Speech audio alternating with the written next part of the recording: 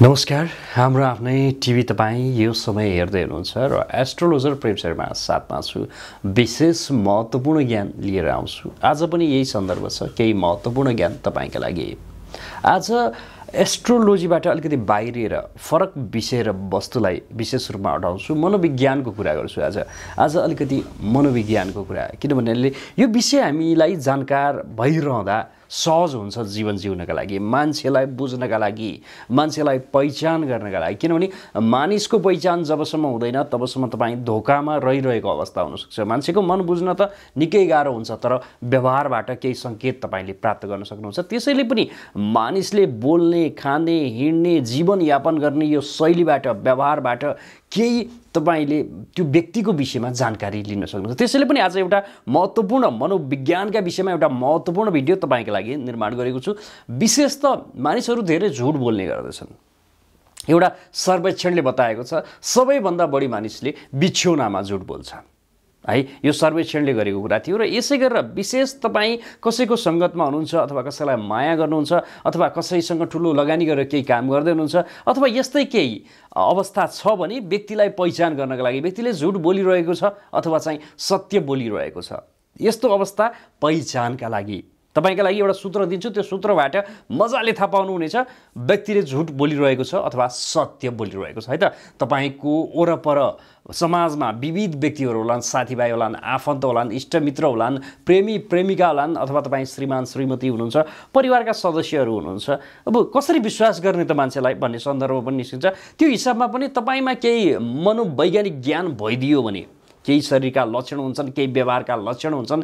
यो लक्षण हेरेर तपाईँले पत्ता लगाउन सक्नुहुन्छ। व्यक्ति झुट बोल्दैछ अथवा सही बोल्दैछ। यही अन्तर्गत आज झुट पक्रने सजिलो तरिका अन्तर्गत केही मनोवैज्ञानिक विषयवस्तुलाई उठाउँछु है त? झुट कसरी पक्रिने त? कोही व्यक्ति झुट बोल्दैछ भनेर कसरी थाहा पाउने त? यो विषयवस्तु हो यदि कोही व्यक्ति तपाईँको सङ्गतको मान्छे यदि नाक र मुख छुन्छ बोल्दाखेरि भने विशेष गरेर नाक र मुख छुन्छ भने बुझ्नुहोस् त्यो व्यक्तिले झुट बोलिरहेको छ पूर्ण रूपमा झुट बोलिरहेको छ। जस्तो नाक छुनु अर्थात् यसरी गर्छ बोलिरहँदाखेरि यसो गर्छ अथवा यसो गर्छ अथवा नाकलाई यसरी छुन्छ भने बुझ्नु होला व्यक्तिले अधिकांश झुटहरू बोलिरहेको छ झुटको खेती गरिरहेको छ शब्दको भण्डार बनाइरहेको छ तर वास्तविकतामा त्यो हुँदैन। त्यसैले पनि नाक छुन्छ अथवा बोल्दा मुख यसरी छोइरहन्छ यस्तो अवस्था हो भने बुझ्नुहोस् व्यक्तिले झुट बोलिरहेको छ। विश्वासमा तपाईँ नआउनुहोला। कहिलेकाहीँ हामीले गलत व्यक्तिलाई विश्वास गरिदिँदा ठुलो धोका हुनसक्छ। त्यसैले यो धोकाबाट बच्नका लागि तपाईँ माया प्रेममा हुनुहुन्छ अथवा अरू विषयवस्तु हुनसक्छन्। तपाईँले झुट पक्रन सक्नुहुनेछ। मैले बताएँ नाक सुन्छ अथवा मुख सुन्छ व्यक्तिले बोलिरहेको अवस्थामा भने अधिकांश शब्दहरू झुट बोलिरहेको छ। यो विषयमा तपाईँले बुझिदिनु होला है त। एउटा सब्जेक्ट रह्यो यो नाक अथवा मुख सुन्नु अनि यसै गरी आँखा नचाउनु विशेष त बोल्दाखेरि व्यक्तिले आँखा बार बार नचाइरहन्छ अझ बायाँतर्फ आँखा विशेष रूपमा नचाइ आइरहन्छ भने बुझ्नुहोस् व्यक्तिले झुट बोलिरहेको छन्। आँखा बढी मात्रामा नचाउँछ। तपाईँतिर भन्दा पनि बाहिर कोही आयो कि कोही गयो कि कसैले मेरो कुरो सुन्यो कि भने जस्तो गरेर आँखा विशेष रूपमा नचाइरहन्छ। अझ विशेष रूपमा देब्रेतिर आँखा लगिरहन्छ तानिरहन्छ आँखा नचाइरहन्छ। तपाईँसँग वार्तालाप भइरहेको छ। कतै रेस्टुरेन्टमा हुनुहुन्छ घरमा हुनुहुन्छ अथवा बाहिर कतै हुनुहुन्छ। र व्यक्तिहरू कोही आए कि भनेर व्यक्तिहरूतिर निहालिरहन्छ व्यक्तिले। अनि कसैले मेरो कुरा सुनिरहेको छ कि भनेर दायाँ बायाँ हेर्छ र विशेष रूपमा बायाँतर्फ आँखा नचाइरहन्छ दायाँ बायाँ आँखा नचाइरहन्छ तपाईँतिर ध्यान केन्द्रित बढी गर्दैन बढी आँखा नचाइरहन्छ भने बुझ्नुहोस् व्यक्तिले अधिकांश रूपमा झुट बोलिरहेको छ है त? यो झुट पक्रने तरिकाको विषयमा बताउँदैछु। यो महत्त्वपूर्ण ज्ञान हो तपाईँले पूर्ण रूपमा भिडियो हेरिदिनुहुनेछ यो अपेक्षा राखेको छु। पक्कै पनि भिडियो हेरिसकेपछि लाइक सब्सक्राइब र सेयर गर्न भन्नु नभुल्नुहोला अनि यसै गरेर भिडियो तपाईँलाई मन पर्यो भने बढीभन्दा बढी सेयर गर्नुहोला। किनभने यी विषय वस्तु सबैलाई ज्ञान हुनु आवश्यक छ। हरेक नेपालीलाई ज्ञान हुनु आवश्यक छ। त्यसैले पनि यो भिडियो निर्माण गरिरहेको छु र अर्को विषय र वस्तु यो आँखा नचाउनेको कुरो विशेष आँखा नजुदाउनु। यदि व्यक्तिले झुट बोल्दैछ भने तपाईँ समक्ष आई कन्ट्याक्ट गर्दैन आँखामा आँखा जुदाएर कुरा गर्दैन। कतै आँखा झुकाएर अथवा फेसभन्दा बाहिर हेरेर अरूतिर हेरेर तपाईँसँग गफ गर्छ। आँखामा आँखा जुदाएर हेर्न सक्दैन। यदि व्यक्तिले झुट बोल्दैछ भने यो सम्पूर्ण कुराहरू तपाईँलाई बताइरहेको छु। विशेष त झुट बोल्दैछ व्यक्तिले भने तपाईँले यी विषय वस्तुहरूलाई याद गर्नुहोला। यो झुट पक्रिने तरिका हो। आँखा विशेष रूपमा जुधाएर व्यक्तिले बोल्दैन है।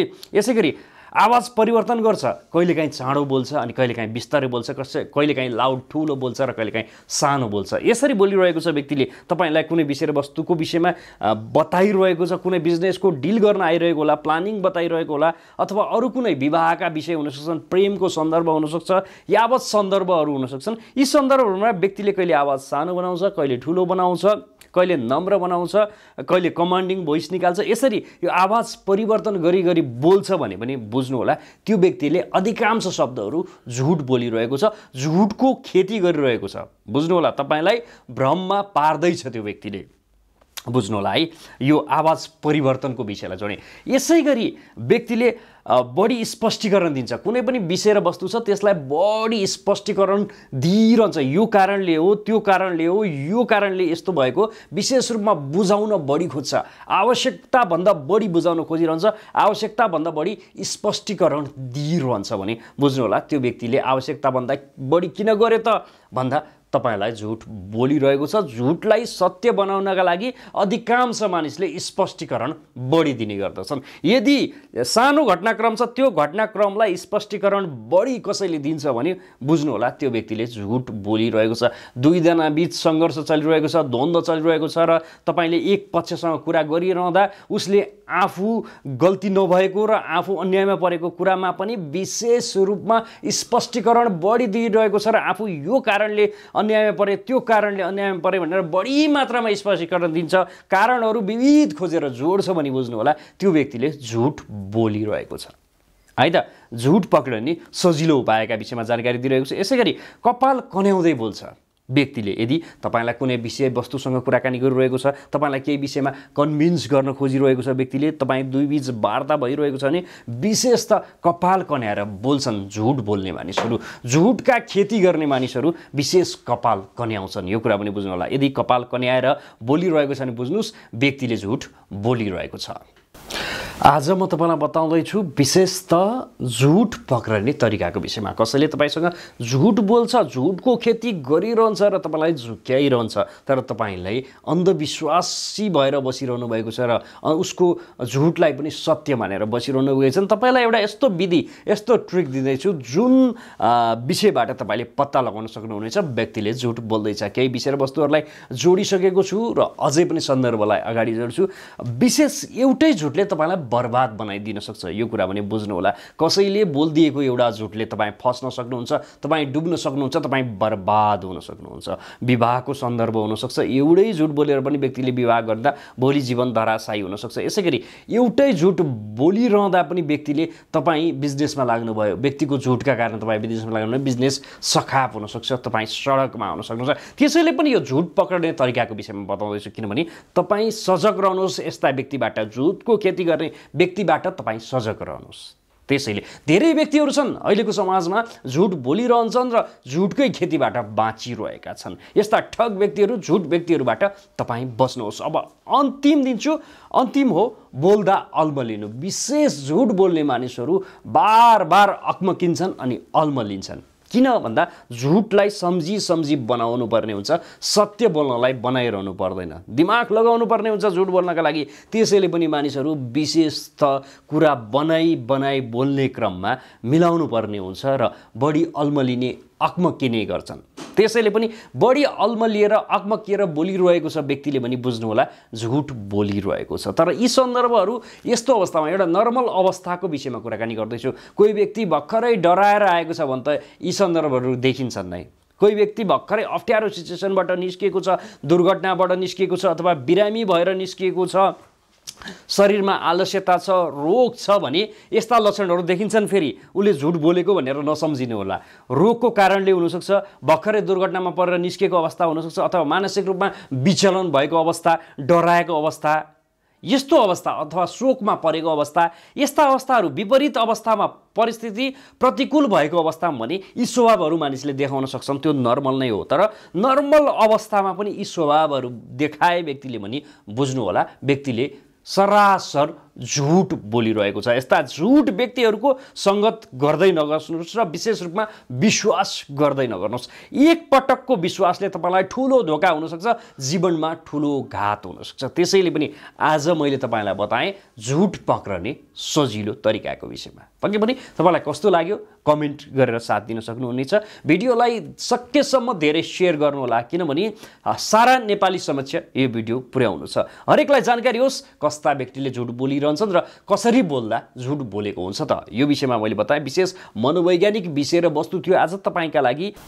आज म तपाईँलाई बताउँदैछु विशेष त झुट पक्रने तरिकाको विषयमा। कसैले तपाईँसँग झुट बोल्छ झुटको खेती गरिरहन्छ र तपाईँलाई झुक्याइरहन्छ तर तपाईँलाई अन्धविश्वासी भएर बसिरहनु भएको छ र उसको झुटलाई पनि सत्य मानेर बसिरहनु भएको छ तपाईँलाई एउटा यस्तो विधि यस्तो ट्रिक दिँदैछु। जुन विषयबाट तपाईँले पत्ता लगाउन सक्नुहुनेछ व्यक्तिले झुट बोल्दैछ। केही विषय र वस्तुहरूलाई जोडिसकेको छु र अझै पनि सन्दर्भलाई अगाडि जोड्छु।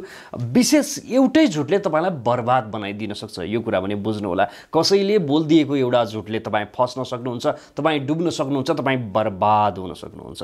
विवाहको सन्दर्भ हुनसक्छ। एउटै झुट बोलेर पनि व्यक्तिले विवाह गर्दा भोलि जीवन धराशायी हुनसक्छ। यसै गरी एउटै झुट बोलिरहँदा पनि व्यक्तिले तपाईँ बिजनेसमा लाग्नुभयो। व्यक्तिको झुटका कारण तपाईँ बिजनेसमा लाग्नुभयो। बिजनेस सखाप हुनसक्छ। तपाईँ सडकमा आउन सक्नुहुन्छ। त्यसैले पनि यो झुट पक्रने तरिकाको विषयमा बताउँदैछु किनभने तपाईँ सजग रहनुहोस् यस्ता व्यक्तिबाट झुटको खेती गर्ने व्यक्तिबाट तपाईँ सजग रहनुहोस्।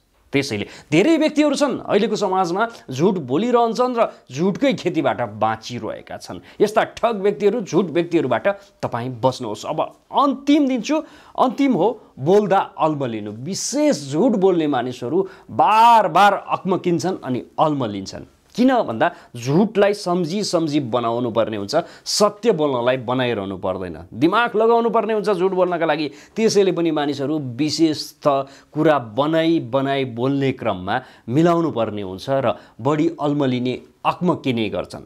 त्यसैले पनि बढी अल्मलिएर अक्मकिएर बोलिरहेको छ व्यक्तिले पनि बुझ्नुहोला झुट बोलिरहेको छ। तर यी सन्दर्भहरू यस्तो अवस्थामा एउटा नर्मल अवस्थाको विषयमा कुराकानी गर्दैछु। कोही व्यक्ति भर्खरै डराएर आएको छ भने त यी सन्दर्भहरू देखिन्छन् नै।